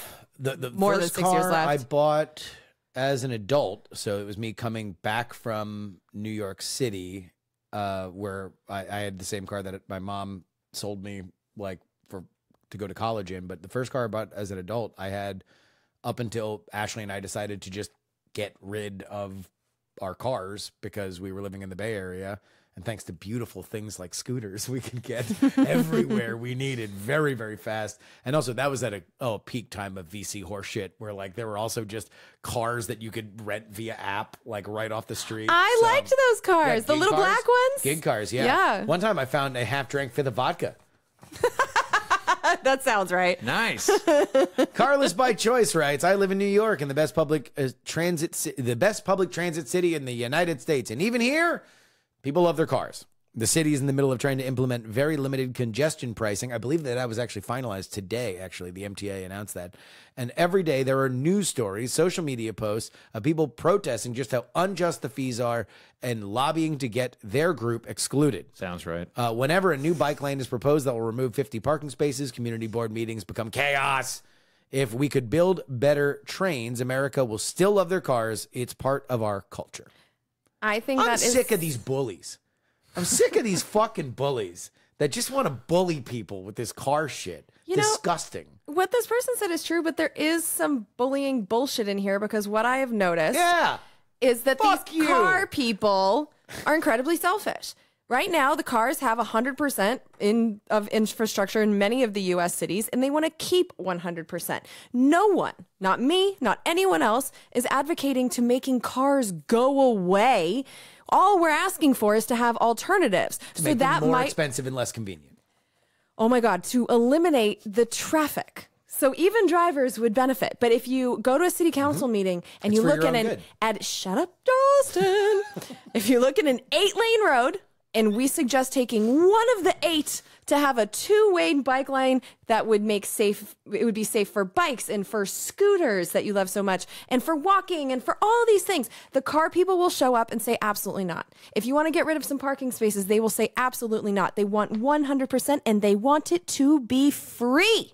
And that's what makes me crazy is that anytime you say you want a train that has to be fully paid for it has to be profitable god damn it but parking spaces should be free. I mean think about how big a parking space is. You andrew have a nice little camper Darren has a camper. It fits in a parking space and it's a fucking house. And so, why do these car drivers think that they are entitled to that much free space for their empty machine that they use for maybe an hour a day? Like, the entitlement of drivers makes me crazy. And so, it's like, no one's trying to eliminate your cars or your culture or any of that. But you guys don't get 100% and the rest of us get zero. That's what we're fighting against, where it's like people who like trains and safe bike lanes, we should be able to have that too. It's a it's a more thing, not a taking away from you. I think if you're going to keep the transportation budget the same, I am open to allocating more of it to trains and other forms of transportation.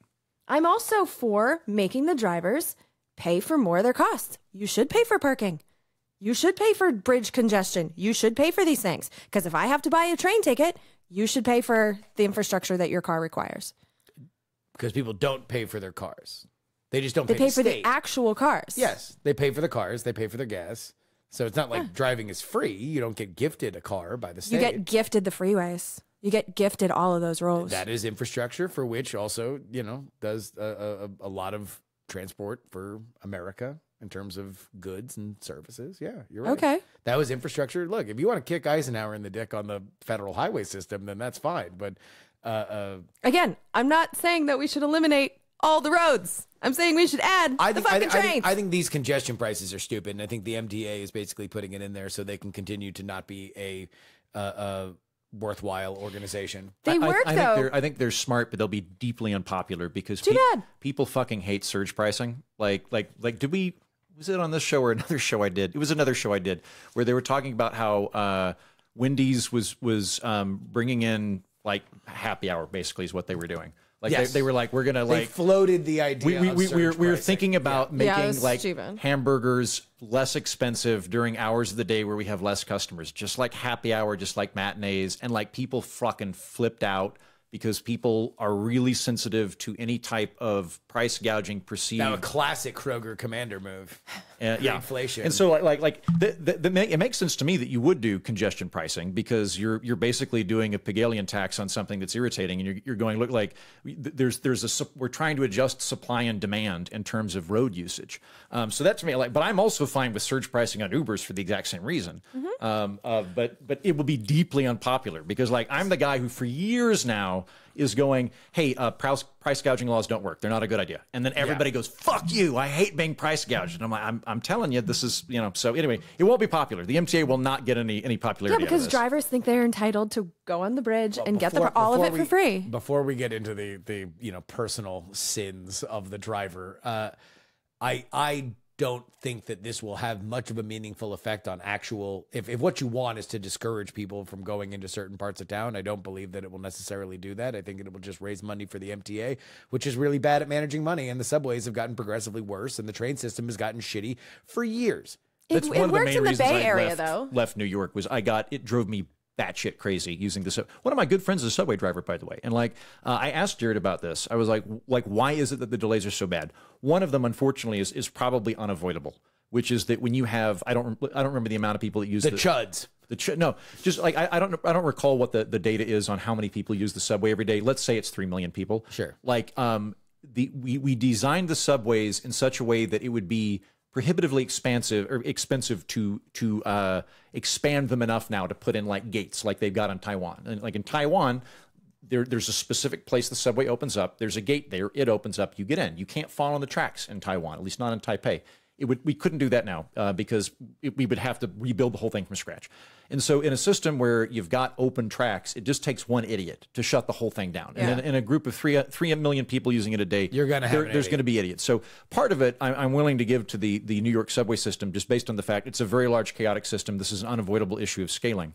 Um, but some of the other elements that are just structural and dumb shit are the MTA board that runs the subway is not actually New York City. It's a state government organization. So like like funding from the MTA was taken from uh, um, who's the guy that left his brother with uh, Tapper? Cuomo. No, no, Cuomo. Thank you, Cuomo. Uh, Governor Cuomo took money out of the MTA's budget for subways to bail out a ski lodge in upstate New York. Because if there's one thing we can't trust the private sector to do, it's to run a fucking ski lodge. Um, and so, like, I, I, I- I think the whole structure of it's insane. That they are Yes. that they, they have a, a a deeply municipal system run by a state agency rather than the city itself. Once every t- uh, 10 years, New York gets really, really, really pissed off about the MTA, and then everybody runs into this particular problem, Yeah. and they run their head into the wall, and then the MTA comes up with some other cockamamie Well, then scheme the- the- to the- either raise prices or come up, in this case, with the surge the, thing. the other the other big problem is that, and this is something I think endemic to government, which is, or you could have it in corporations as well, but this is this is a government specifically. It, you're more likely to get credit for building a new thing than than fixing something boring.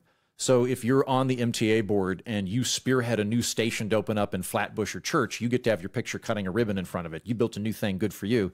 The, the person that goes and finds the specific railing that's necessary to fix under the underground chamber on the G line, that bit's all boring, so nobody does it. So you have more construction and less maintenance. But as for the surge pricing, the idea that it, I mean, it does work. It worked in the Bay Area, worked in New York with my own behavior. When I, I had a car when I lived in Boston and I would take the megabus because one of my calculations was it was 20 bucks to take the megabus. It was 20 bucks just to get over the bridge into New York. And then I didn't even think about parking for just financial reasons. It made more sense for me to take public Where did transportation. it work in the Bay Area? In the Bay Area, every time they raised the bridge prices, Oh, we would calculate. Yeah, no, look, Yeah, raising like- bridge ra- raising bridge prices are, uh, uh, I think, more of a at least a standard way. It's unpopular, but it's something that people understand. Uh, uh, And this surge is not pricing works this the is same not way. that. This is this is a there's a zone in New York for which you're going to. Uh, uh, I assume through photo enforcement, be charged for being in this certain area of the city. And I In a think it's gonna- car. Yes, in a car. My, my, Yes. my friend Jimmy Failla points out that New York City has the worst traffic in the world, and here's how you know it: um, bank robbers fucking go on foot. Yeah. That is evidence of real fucking bad traffic if the bank Mm-hmm. robbers are on foot. A car takes up a lot of physical space, and so I, I understand that you are are you are on a holy war with this, but uh, uh, I I do think that we should probably take a look at this plan specifically before we bless any plan that might be punitive to drivers.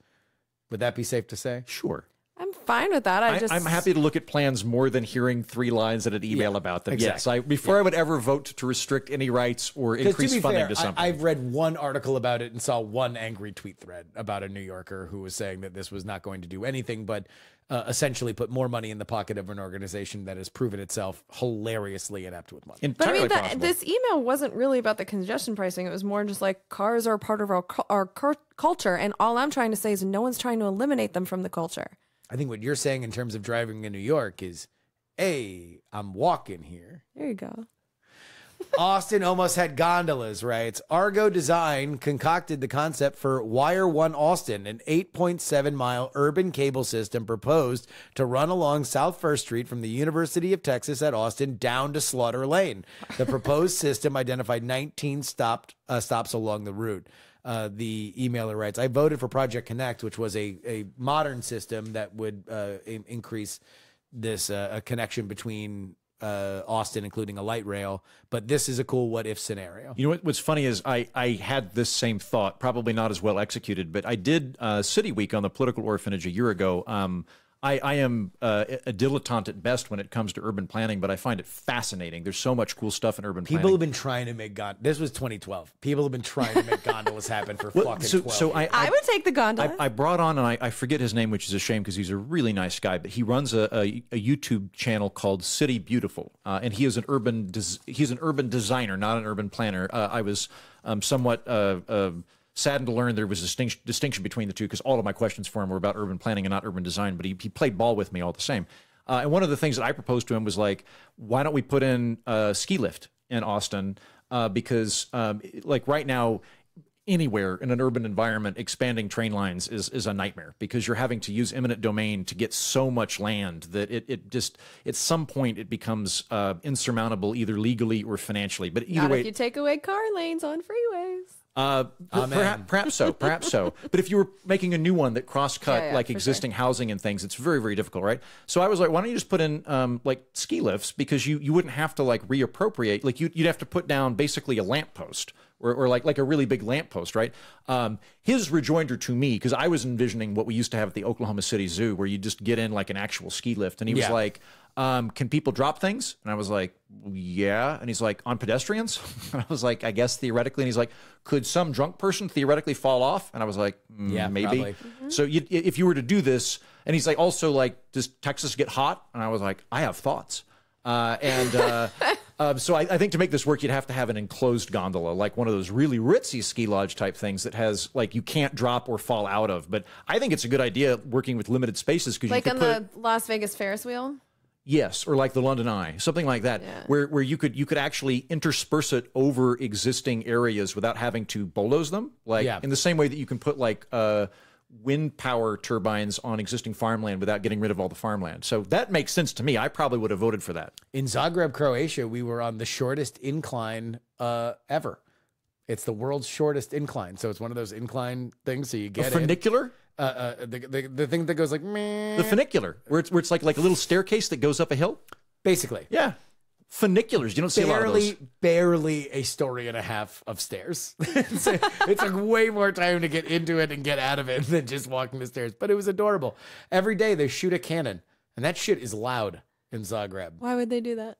to celebrate a time when they shot a cannon and something happened. They shoot a cannon every day in Edinburgh at one o'clock. It's a, it's an old nautical thing to let uh, uh, guys in the harbor know that it's one o'clock. And because the Scots are thrifty, they do it at one instead of noon because you only have to shoot one cannon then. And then they just kept doing it because it's a thing. It scares the piss out of tourists. Uh, yeah, we were there one time. The cannon guy is very popular. He waves to his adoring fans uh, uh, right after. He I shoots would the think cannon. that's the best job to get in like Yeah. the, the municipal government of Zagreb. Yeah, no, it's pretty good. How about the Andrew Heaton sports question of the week? Heaton, what are your thoughts on the chalk method for building a bracket? I feel like there's no point of making your own bracket if you're using chalk. Uh, I can. I think I see where you're coming from, but I disagree on this. I don't think chalk makes a good building material for anything, including a bracket. It's something you use for marking things, but trying to build a bracket out of chalk, I I, I don't think it would work very So well. you don't you don't think you know because the favorites are the favorites for a reason. You don't think that using chalk is is is a good idea? No, I think we in our culture. Good question, Justin. Yeah. Uh, um, I think in our culture we we uh, overemphasize the quote unquote favorites. You know, when you go to a professional NBA game, Sure. You know, just like a a, a regular dude like you and me drinking our beer. You know, our. Yep. our light domestic beer. Yep. We and we go to one of these games. Um, you know, when you watch it on the TV, Mm-hmm. And and and they they've got the cameras. They're always focusing on Larry Bird. Or, or Michael Jordan, Oftentimes, right? Uh, yeah. And so you're watching it, and you'd think the whole game's about them if you're watching the TV. But you go and watch the game, and you're like, oh, there's this whole group of dudes playing, and maybe women, and they're all playing at the same time. And when you're there in person and you're there enjoying the thrill of the crowd in the moment, you know that it's not favorites; it's a team. But specifically, like when Michael Jordan was on the University of North Carolina, or Great Larry times. Bird was was on Indiana, Mm-hmm. Uh, uh, that was a reason why they were a favorite and why people might might use chalk. You know, I'm close friends with Larry Bird, and he, he would he would disagree with you. He would disagree. Really? I think your interpretation to that event is, is different than the guy that was in it. Yeah. Yeah. Okay. And Larry Bird's welcome to counteract me on that if he wants to come on the show. Great basketball player, Larry Bird. Relevant relevant example, Heaton. Short True. shorts. He's that's such an old reference. He's already not been a coach for like a decade. Is he he's still alive? I believe so. Good yeah. for him. Good for him. Yeah. Judge this writes Sotomayor is low key the second best justice on the court right now on civil rights. Could be. I don't know. Um, like uh, I, I think uh, court reporting is pretty much garbage in this country, and we tend to treat the justices like they are blue team, red team players. Um, the the bonus episode that I'm doing on the political orphanage this week is on the recent uh, Trump Colorado ballot decision that we've previously discussed on this Yep. program. Um, do you all recall what the break was on that? How how they ended up voting on it? Unanimous. Yeah. I Jen, know. Jen knocked it out of the park. Um, some of the media outlets that we were discussing earlier today would not have described it that way. They would have said it was a partisan split decision between the Republicans and Really? the Democrats. It was nine and oh. Uh, once again, There- Jen yes, has there- knocked there it out of the park. there- with, yeah, yeah. There, were there were articulated points on they, specifically they, they the had wording of the concurring opinions. Yeah. So that is to say, like, but it was a 9-0 vote. it was a nine vote where they went. I, I broadly, I, I agree with the decision enough to vote for them. However, I have concerns. It's an, a, a concurring opinion is like an asterisk in Yeah. jurisprudence, right? Um, uh, uh, like I think you'd find that there are there are justices that you might think are uh, hardcore Republicans, except for this one issue. Turns out they're very like like the the, the recent um, uh, decision that that declared half of eastern Oklahoma uh, Native American territory. That was Neil Gorsuch that, Yeah. that wrote the majority decision on that, right? If that's if that's some sort of you know re- Republicans don't like the Indians or they're racist or whatever, you wouldn't have thought Neil Gorsuch would do it. So anyway, point is, I'm not surprised to hear this. I don't know the judges' positions on civil rights. That's not something that I've paid specific attention to, but it wouldn't surprise me what the combination is. It's a and very Sotomayor might very subjective statement. Yeah. Yeah. Spoken like a real Federalist Society plant. Landmark Green Energy Bill Enjoyer writes I work in the biofuels industry and work a lot with trade organizations and with many of the regulatory agencies that affect the industry. Anyway, I'll cut to the chase. The rollout for the Inflation Reduction Act has been an absolute shit show. I won't get into specifics, but essentially the IRA created a ton of tax credits and other incentives, but it didn't define anything and shrugged and dumped it all on the Treasury. The Treasury doesn't know any of this shit, so they've been working with stakeholders, and well, no one can agree on anything, which is just dragging this process out. Multiple things that were supposed to be rolled out in 2023 are still being debated at Treasury. An absolute nightmare. I feel like this debate should have been handled in the legislature rather than behind a veil at Treasury where lobbyists on all sides are trying to get their pet projects funded. I complain about this all the time on Congressional Dish. When I read bills, and what they do is they say, we're going to create this Hmm. new system, but it's going to be the Secretary of Homeland Security or the Secretary of Health and Human Services or the Treasury. They're going to make all the actual Yeah. rules. And that, it, I mean, it's problematic for two things because, like, you're supposed to be the decision makers in the legislature, but you're not actually making any decisions. So that's a problem. And by leaving it just like up to the executive branch, it can be changed every four years. Um, if something even gets off the ground, like one of my concerns right now, like let's go back to the car chargers. There are things that the Biden administration has been working on since the Inflation Reduction Act passed at the end of the last Congress. They had two years to get it in place. They might not get it done in time. And then by that time, you might have a Trump administration who doesn't want to get it done at all. And then it all comes to a screeching halt. So it's like, the fact that Congress doesn't do their jobs in these bills more often than not is something we should be more angry about, except that the American people are not aware of it because we don't have a media that actually focuses on what ends up in these bills and these laws. But this is so common and it is it's infuriating because they really should be telling the law enforcers like this is exactly what we expect you to do. They leave way too many of the the decisions and the design of these new programs up to all of the executive branch agencies. I'd like to offer a rejoinder Oh. to Jim. Oh. Jim, well, you're not understanding about the system that we've got here. Is this? Let's say I'm a congressman from I don't know, Mississippi, something like that. I vote in favor of giving these powers I'm going to delegate to the EPA, so I can go back home to my constituents and say I voted for clean air.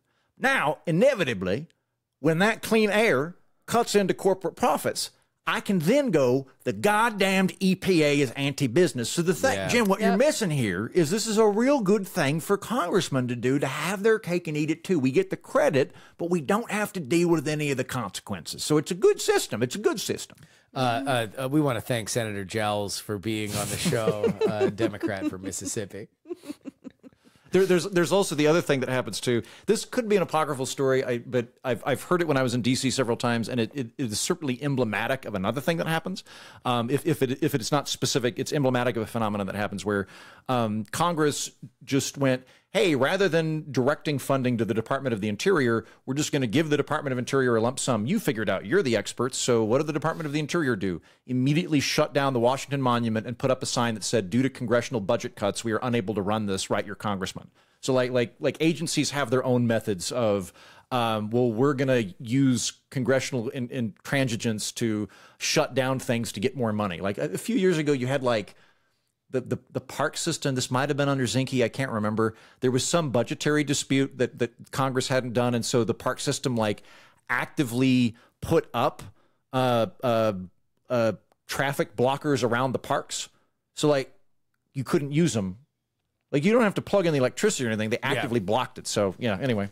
Um, yeah, Congress should do its job. Uh, an ideological legend of the We're Not Wrong podcast using the analogy uh, that a uh, the helicopter of government is working. It's just dumb pilots who want to do loop de loops with it. Right? Jen believes that helicopter pilots who need to stop doing loop de loops, and if they don't, they should be replaced. Heaton believes that helicopter pilots are incentivized to do loop de loops by federal regulators, so we should disable the loop de loop features on helicopters. And Justin wants Jen and Heaton to fight about the solution loudly to drive traffic to the podcast, and he also wants to do loop de loops in a fucking helicopter. Uh, I love this. I'll, You're not. right you're not me. wrong. if, if I not if I if I can if I can tweak it slightly, I like I'm very much a structuralist. I think if you take um, uh, good people and you put them in bad structures, bad outcomes happen. So I think you got to figure out Yeah. what what the incentive structure is, and a lot of the time that's federal. I'd like you to take this metaphor more seriously. Yeah. I love the metaphor. I love the I'd like- metaphor. I'd like you to take it more seriously.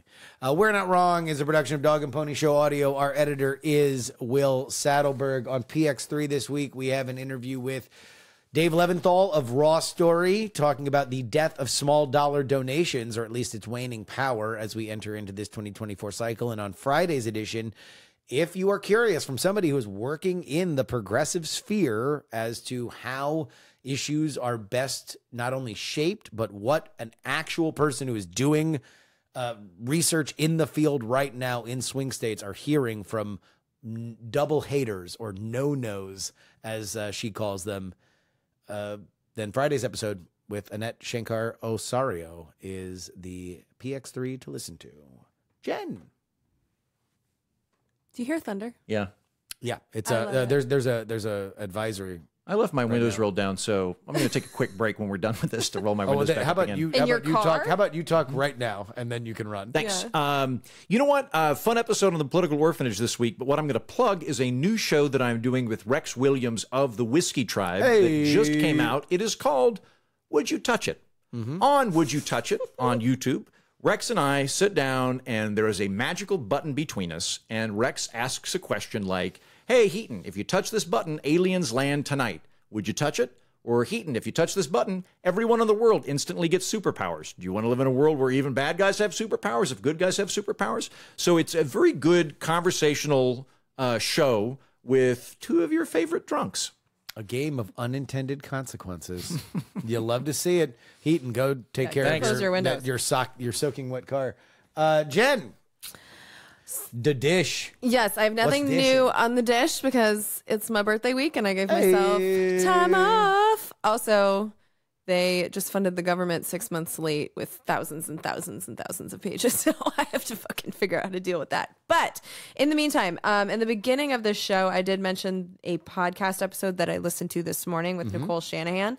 And so what that is, it is the today issue. Today's the 27th of March. Uh huh. Um, it's the today episode of Tetragrammaton with Rick Rubin. And she did most of the talking, and I learned quite a bit about her Rick and where she came Rubin, from. the the music producer. I could not tell you. I know very little about this person. I I looked up Nicole he- does he have a Shanahan. big That's how I old found beard? this. No, it's just a. There's no face With on. Rick. Ru- I don't know another Rick Rubin, but there's yeah, there's a it's very famous Denver Broncos producer. colors in the, um, Yeah, the icon. he's kind of a weird hippie. I could not figure out anything about this host, but I also didn't care because I was in it for were in it Nicole for Nicole. Shanahan, and it was it was a good interview. I learned more about her and kind of how she Yeah. thinks, so I recommend it. There we go. Go listen to it. Till next time, for Andrew Heaton and Jen Briney, I'm Justin Robert Young, reminding you, dear listener and viewer, we're not wrong.